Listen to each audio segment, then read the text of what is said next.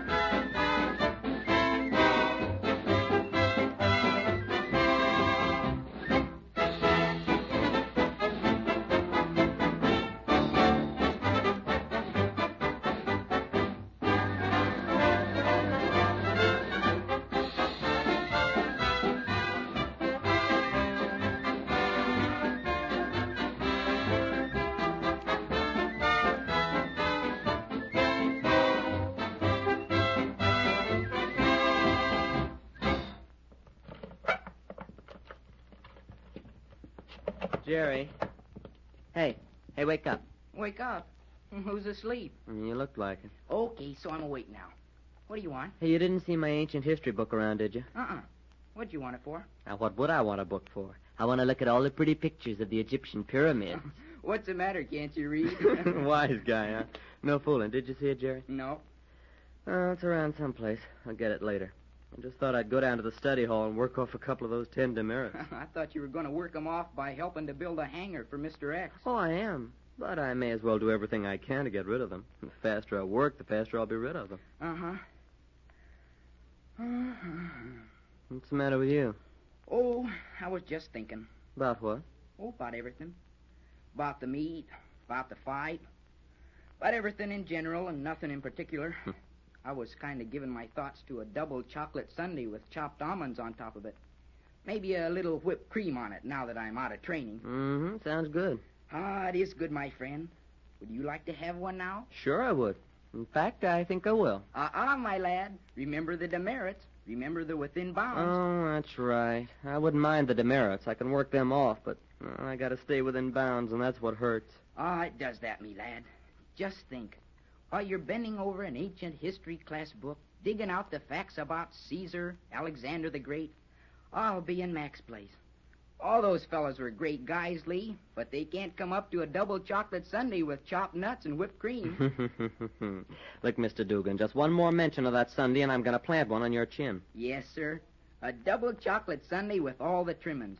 And on a rainy day like this, there's nothing like sitting in Mac's warm store, just sitting quiet and eating the sundae. Jerry, for the love of Mike, did I ride you when you were kept within bounds? No, no, you didn't, Lee.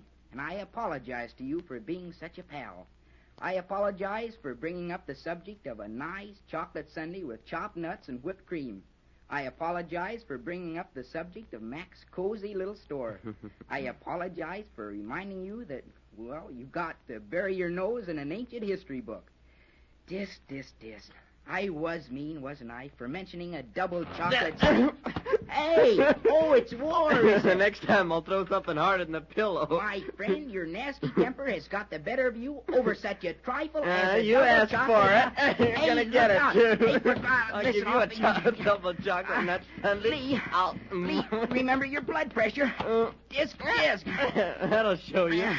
And all over a double Uh, uh, chocolate. uh, uh, uh, okay, we'll forget about it.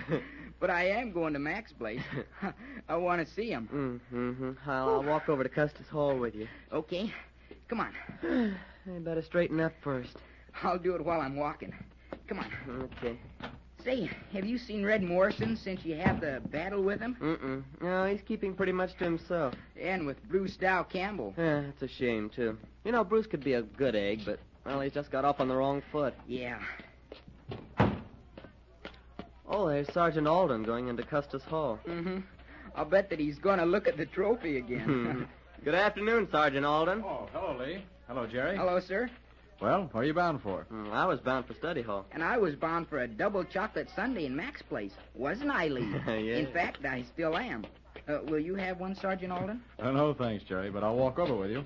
I'm going to the hardware store. Uh, well, okay. Uh, I'll see you later, Jerry. Goodbye, Sergeant. Goodbye, Lee. So long, Lee. Well, coming along, Jerry? Oh, oh, yes, sir. Gee, I, I wish Lee didn't have to stay within bounds for the rest of the week, sir. Well, I do too, Jerry, but I'm afraid there's nothing we can do about it. Uh, Lee said you were swell in the, the meeting. Oh, nonsense. Oh, but it was swell, sir.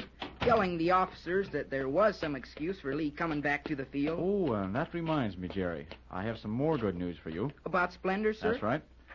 He'll be about ready to come back here the first of next week. Oh, gee, that's great. Then he's all better, sir? Well, not quite, Jerry. But he'll make it all right now. There's and there's no more danger of infecting the other horses, so I'm having him brought back here just as soon as possible. Oh, poor old Splendor. After practicing for the meet, he didn't get to ride in it. Yes, and oh, oh, oh, oh watch the arch there, Jerry. Oh, yes, sir. I'll see you on the pavement. Righto. Ah, and back again, sir. Uh huh. Why don't you come in Mac's place, sir, and have something? No, no, thanks, Jerry. I may stop in later, but right now I want to pick up some things at the hardware store. All right, sir. I'll see you later. Well, okay. Oh, tell Mac hello for me, will you, Jerry? Yes, sir. Hey, Mac. Mac, where are you? Mac. Oh, oh, Jerry. I, I, I cannot come now, Jerry. What you doing? Oh, something very, very important, Jerry. Come back here with me. Mm, okay, coming. Right. Well, come in, Jerry, come in. Hey, what's so important back here that you can't wait on a customer? Uh, uh, wait till I close the door, lad, and, and your own will see what I have. Uh, no, look around you, Jerry, and tell what your een has seen. Gee, since when, Mac? uh, since this morning, lad. Eh, since this morning. Uh, look here, since five o'clock I've been out of bed, puttering around here, and the know I think I'm all fixed up. Say, this looks like a regular laboratory. Aye, laddie, aye, aye, that it is. It may not be as fancy as the big ones I've seen, but it'll do for old McLeod. Aye, aye, it'll do. Say, what's this? Oh, oh, oh, that. Uh, uh, that's a retort, Jerry. Uh, aye, a regular retort like they have in the big chemist shops. the apparatus came this noon, and I have been putting it up since. You're going to be a regular chemist. Oh, I, I, I hope so. Uh, till three this morning I was up reading books. Oh, lad, uh, there's romance in chemistry. Aye, that there is. Well, will it help you fix up a double chocolate nut sundae? Oh, hush, laddie. You're talking about sundaes, and I'm talking about chemistry. Uh, look here. I've got an experiment all lined up ready to go. I'm making hydrogen. Hydrogen? Hmm. Oh, that's a gas, isn't it? Aye, that it is. Look here, the note. See this? Yeah. There's a little capsule on the end of a stiff wire. Now watch, and I'll show you something. I take a bottle of, metallic sodium. That funny stuff? Aye, aye, it's, it's put in oil because it's dangerous stuff in water. Now watch. Aye, just a little of the sodium in that tiny capsule, like this. Pocket down. Now, now, uh, hand me that empty bottle there, Jerry. Uh, the one with the wide mouth. Aye, aye. Here you are, Mac. Aye. Thank you, laddie. Now, watch carefully, Jerry, and you'll see the gas, the hydrogen, made before your very eyes. So, uh, this basin of water, put the capsule down into the water and watch. Say, what's that doing? Uh, well, the action of the water and the sodium liberates, frees the hydrogen gas, Jerry. I can't explain why, the know, but but watch. I'll, I'll put the bottle over the bubble and, and catch the gas. Now watch. Aye, aye, that does it. Aye. Ah, no, uh, the bottle is full of hydrogen gas, and I have turned the mouth of the bottle down because hydrogen is lighter than air and will escape if I turn the bottle up. Uh, you can. Uh, now, now watch, Jerry. Hey, what you gonna do? Laddie, in that bottle is one of the best and yet the worst gases that mankind have got for themselves. It'll carry balloons and dirigibles up in the air, but touch a match to it, like this, and...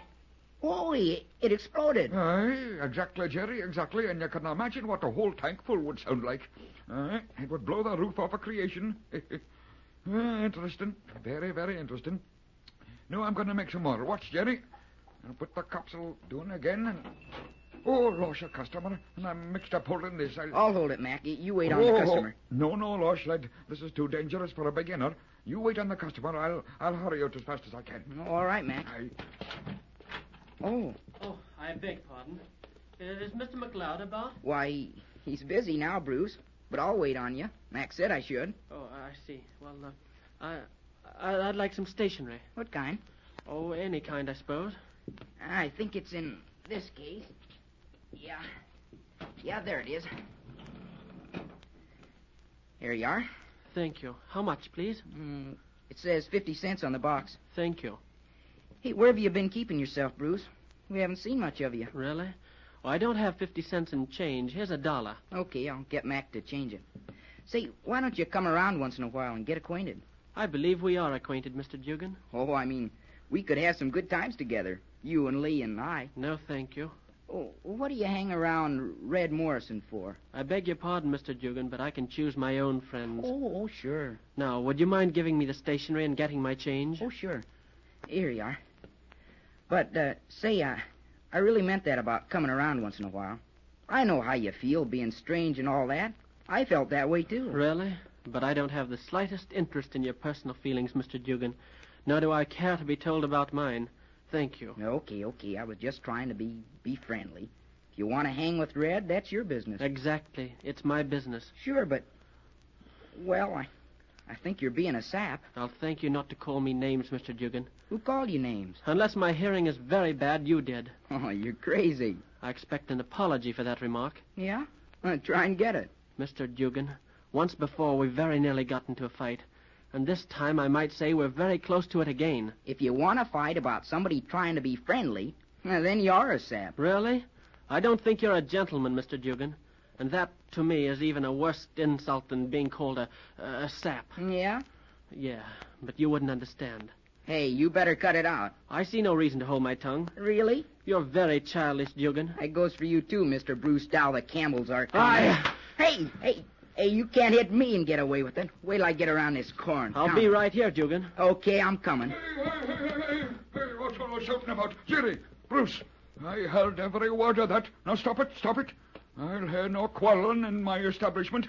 Uh, none of it. Now I'm stop sorry, it. Mac. I, I just tried to fix things up. Really? Well, you chose an odd way, Dugan. And stop calling me Hey, Dugan. lads, lads, lads, lads. Now stop it. Stop it, I say. I'll hear no fighting here. Don't worry, Mr. McLeod. I'm leaving. But Dugan knows where he can find me if he wishes to continue our, our discussion.